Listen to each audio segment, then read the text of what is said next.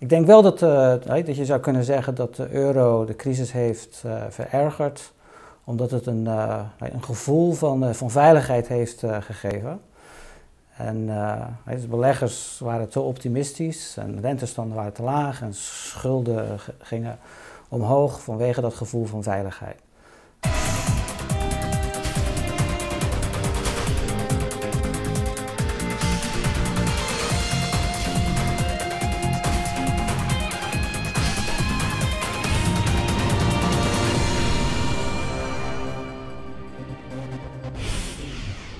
Zonder de euro waren ongetwijfeld dingen anders geweest.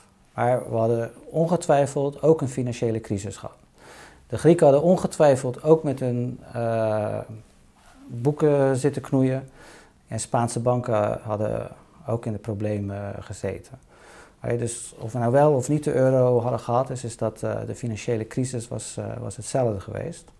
Ik denk dat wel iets was geweest wat, wat anders was geweest. Dus een aantal landen die nu in de problemen zitten en die in euro hebben kunnen lenen. Dus zonder de euro, dan hadden ze in een andere valuta, waarschijnlijk de, de, dollar of het uh, Britse pond moeten lenen. En ik vermoed dat dan de problemen nog veel groter geweest zouden zijn. Uh, en dan zouden er een aantal andere landen geweest zijn die dezelfde problemen uh, zouden hebben die Griekenland nu heeft.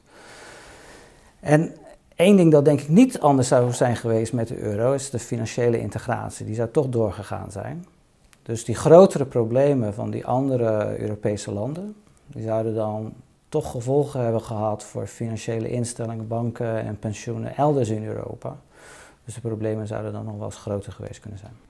Toch kan ik niet on, indruk onttrekken dat uh, in het Verenigd Koninkrijk ze blij zijn dat ze uh, achteraf dat ze niet in de eurozone zitten. Um, Waar de Britten erg veel voordeel bij hebben nu, is, is dat uh, beleggers in de eerste plaats zich zorgen maken over het eurogebied. En vergeleken met het eurogebied lijkt uh, het Verenigd Koninkrijk uh, vrij onproblematisch.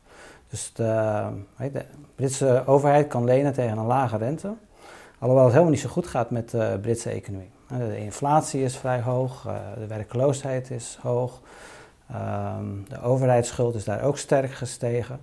En er is vrij veel kritiek uh, tegen de bezuinigingsmaatregelen. Dus wat betreft uh, de eigen munt zou je denken dat ehm, de waardedaling van de pond, die we zagen toen de crisis net was begonnen, de export flink geholpen zou moeten hebben. En dat viel een beetje tegen, want de reële waarde van de pond is veel minder veranderd dan de nominale waarde. En dat komt ten dele omdat uh, toen de pond in waarde daalde, toen uh, werden importprijzen, importprijzen gingen omhoog. En uh, daardoor werden binnenlandse prijzen ook hoger.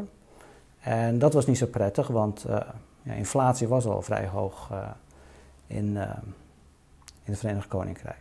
Dus als je alles bij elkaar optelt, dan zou je kunnen zeggen is dat onder het scenario waar we nu weet, mee geconfronteerd worden, dat het inderdaad zo is dat uh, de Britten er voordeel bij hebben. Zou de financiële crisis in Europa makkelijker op te lossen zijn zonder of met in de eurozone blijven? tegenwoordig uh, hoor je vaak de redenering dat het gemakkelijker is om weer te gaan groeien als je je je valuta maar kan laten depreciëren. Maar neem bijvoorbeeld Spanje. Dus zeg dat uh, Spanje nu uit de euro zou uh, stappen en uh, weer, weer een peseta en een, met een veel lagere waarde zou, zou, zou krijgen.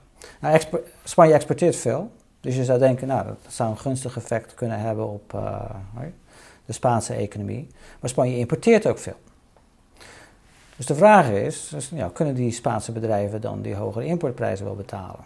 En als het uittreden uit de euro of het uiteenvallen van de euro gepaard zou gaan met grotere problemen in de financiële markten, dan kunnen die Spaanse bedrijven ook niet lenen om die importen te financieren. Dus maar helemaal de vraag of uh, flexibele wisselkoersen echt zo'n uh, goed geneesmiddel zijn, als, zoals mensen vaak denken.